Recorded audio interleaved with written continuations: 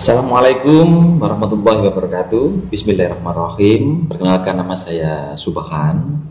Ya langsung saja kali ini saya akan mau mereview Sebuah barang unik yang lagi booming-boomingnya di tahun ini Yaitu sepeda ontel jadul.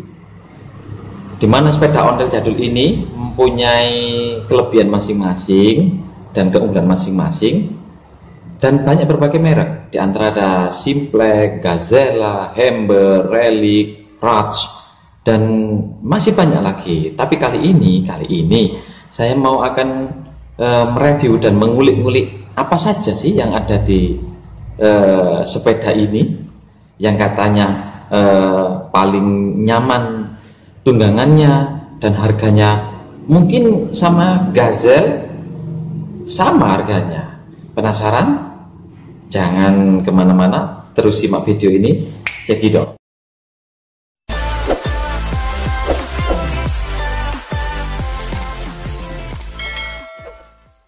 Yang pertama adalah emblem, emblem simplex.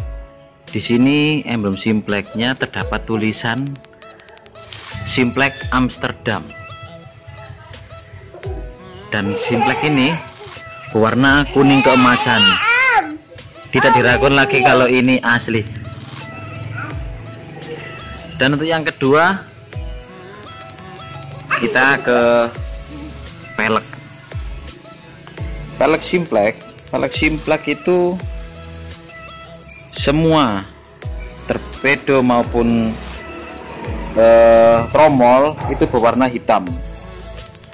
Hitam-hitam agak kelawasan gitu sedikit ya pemirsa bisa dilihat bisa dilihat peleknya hitam. Yang kedua dinamo. Dinamo ini bawaan dari sepeda ya. Berwarna kuningan. Kalau untuk ini untuk logo simplex sendiri ini mungkin ini hanya variasi. Hanya variasi dan untuk simplex ini adalah simplex yang berjenis simplex polisi. Simplex polisi. Ini di sini ada lampu batok. Lampu batok ini orinya ya. Lampu batok orinya simplex untuk batangannya sendiri ini ori. Ori cat bukan cat ulang ori cat. Ori cat lihat bisa dilihat ya. Terdapat warna ke kemerah-merahan gitu ya. Hitam kemerah-merahan. Ini kalau orang sini menamai uh, ular pombang ya. Untuk selebornya sendiri untuk selebor selebornya simplex itu beda ya. Agak kotak ada garisnya samping kanan kiri dan teksturnya keras. Nih, ini setirnya setir warna hitam ori. Ini ciri-ciri dari simplex polisi. Kalau untuk belnya ini hanya variasi saja sekitar 65.000 hingga 100.000 kita ke belakang kita ke belakang. Ya ini ada lampu lampu lampu stopnya ini lampu stop lampu stop belakang ini ya yang ada di selebor ini. Ini asli punya simplex dan ini masih ada uh, stiker sejenis stiker tapi stiker nggak bisa di hilangkan ya. Ini asli buatan pabrik dan di bawahnya ada logo simplex warna kuningan kuning-kuning kemasan dan masih sama ada tulisan simplex Amsterdam. Untuk skandar atau boncengan belakang merek Hopmi. Hopmi itu asli buatan dari Belanda ya Hopmi. Untuk pelek pelek pelek belakang juga hitam.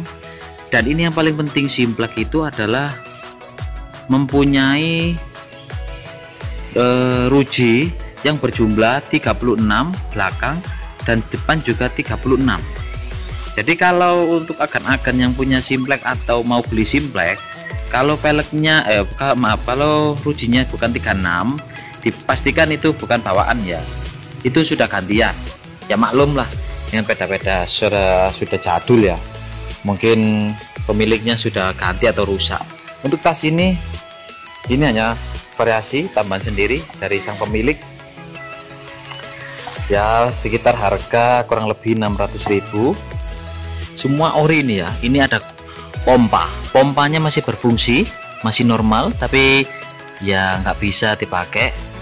Mungkin sudah bukan zamannya pakai pompa ini ya. Untuk saddle sendiri ini saddle Terry saddle Terry saddle paling nyaman di segala saddle ini enggak ada mereknya tapi bahannya kulit asli ya saddlenya ternyaman terempuk terenak mungkin bisa tidur nanti di tengah jalan pakai saddle ini. Untuk stengkasnya ini ori semua stengkas ori dan piringannya. Piringannya ini ori. Bisa dibuka tapi sulit ini. Ini piringannya ori. Hmm.